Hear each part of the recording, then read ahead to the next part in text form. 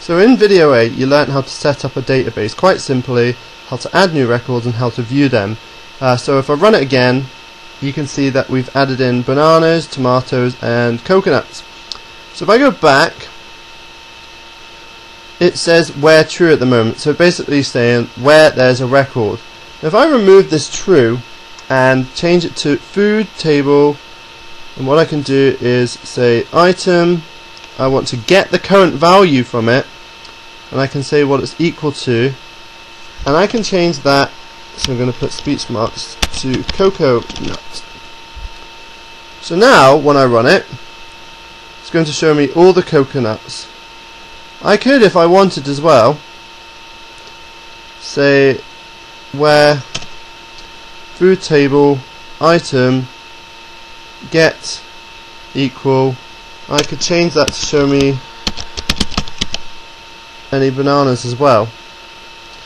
But that doesn't work because you can't have a coconut and a banana at the same time. You'd have to use an OR or OR function there. Alright so what I could do is do another one which says where food table item get not item quantity get equals 2 run that. There's no items so I could change it to a 3 any coconuts with 3 so I can see there's 3 coconuts. Now if I wanted to say remove this row what I could do instead of posting it to the wall is I could cut that and what I could do is go to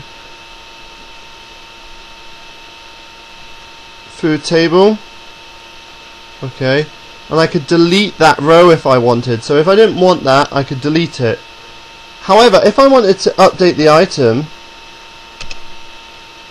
so I could go item set. I could change the name now to coconuts instead.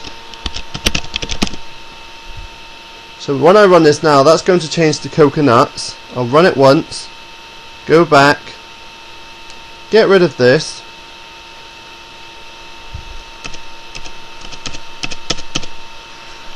and just change it to true. Get rid of this,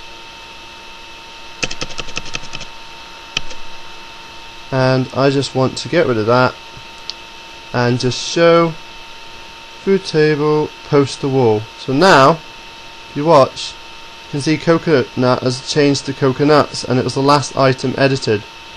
So you can play around with it. You can post a wall. You can edit the current item. There's lots you can do with adding and deleting records. So I'll just show you one more time. You can say where food table item get the current value. What's it equal to so I want to find something that is a banana. So let me just change that. Banana.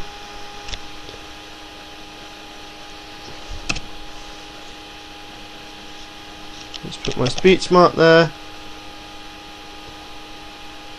And that's only showing banana and it's 2 at the moment so what I could do is before I post it to the wall I could set so I'm going to set it to 3 food table quantity set.